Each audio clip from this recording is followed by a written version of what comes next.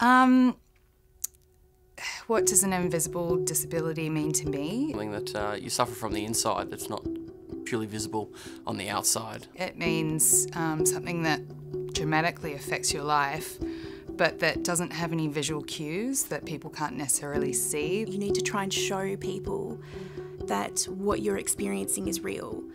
Um, and that's really hard to do because you can't just make someone feel what you're feeling. What's it like having an invisible condition? Well, it's not fun.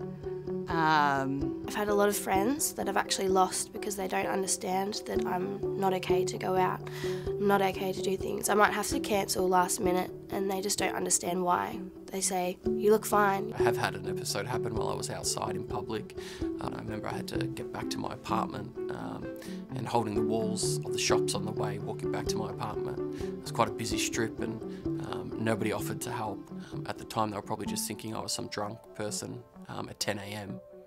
holding onto a wall, um, could barely stand up. Um, but I was having a vertigo attack. Say I'm on public transport and I'm having a flare up and, and I can't, literally sometimes can't stand properly, can't walk. Um, there's nothing to say, I need that seat, you know? Um, and, and I have actually been challenged about using disabled toilets. I have a disability parking permit, and um, a lot of the times uh, you get a lot of stares. I've had people make comments where they they'll ask sort of, well, why have you got this? Or, what, you know, are you sure you should be parking there? Like, and I can't explain my life story to that person in that five seconds where they're questioning me. Road base for my job, so it got to the period where I had so many attacks in a row that the best thing for me was to take me off the road and uh, just work from home for, for, for a while until the vertigo attacks settled down.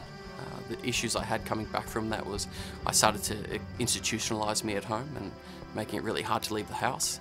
Biggest issues that I've faced um, was actually getting uh, diagnosed um, and recognise that this illness is real.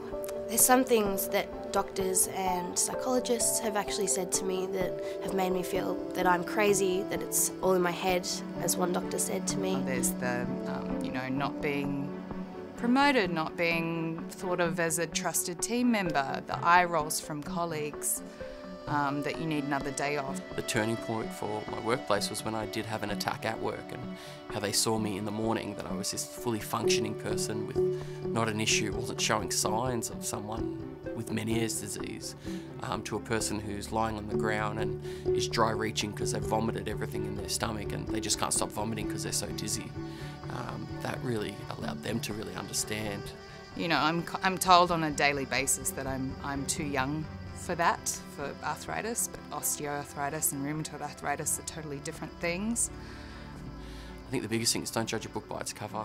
Um, if I use my example of when I was struggling on the street, um, I wasn't some drunk person at 10 a.m. stumbling, and I was just a, a normal person who actually needed help.